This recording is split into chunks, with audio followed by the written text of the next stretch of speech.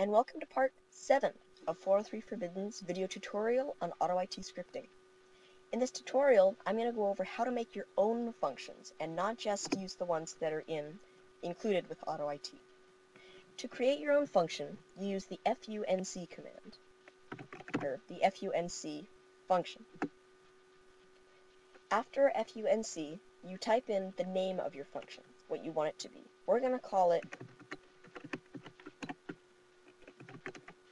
message box function. After that, you put in any parameters that you can add. For now, though, we're not going to do any. So we just do parentheses to the right and to the left.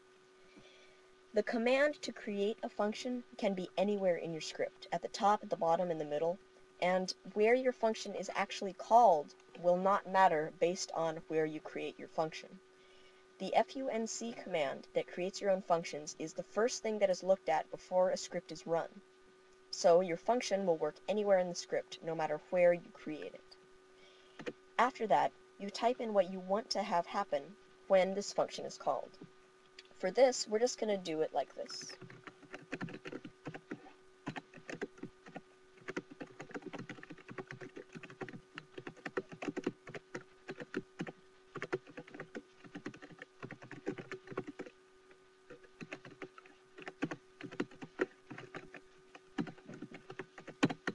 Going to say you called me. You called the message box function. So that is what, gonna hap what is going to happen when we call the message box function. After that, you type an end function.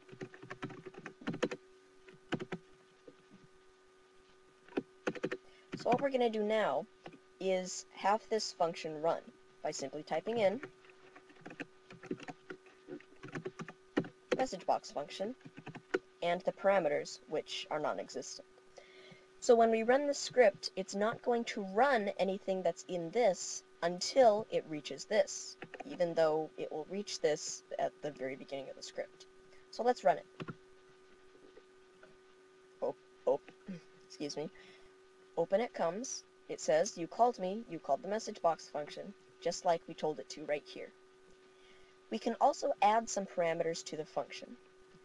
The parameters are added by using variables. We're going to go like this.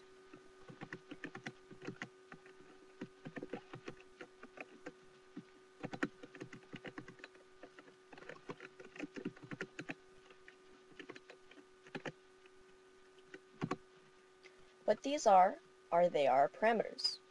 Well, we're, we're going to also do one more.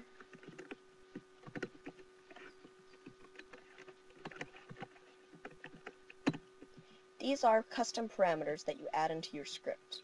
These variables will only work inside the function. So if you try to call the data that is in param, $param1 out of the function, it will not work.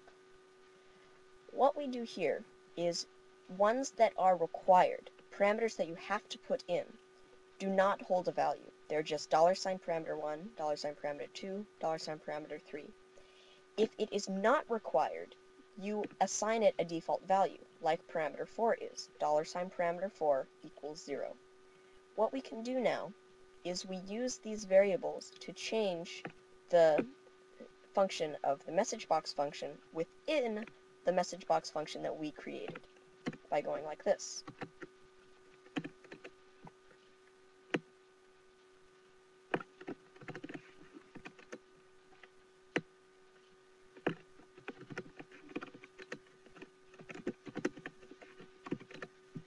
What this does is it creates a message box, the flag being parameter 1, the title be being parameter 2, the text being parameter 3, and the timeout be being parameter 4, with which is defaulted at 0, which means no timeout. We then put these in up at the top. 0, the title, the text, and then the timeout is not necessary.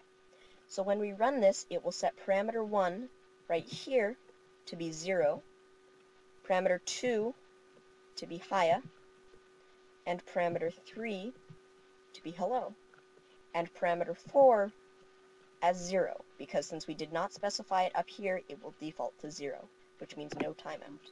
When we run it, It does exactly what we want. If we want, we can add the optional parameter here of a timeout, say 5 seconds. So instead of parameter 4 being 0, because 0 is the default, but since we specify that we want it to be 5, it will set it to 5. That will become the timeout for the actual message box function and will run. Let's try it. 1, 2, 3, 4, 5, and close as it does.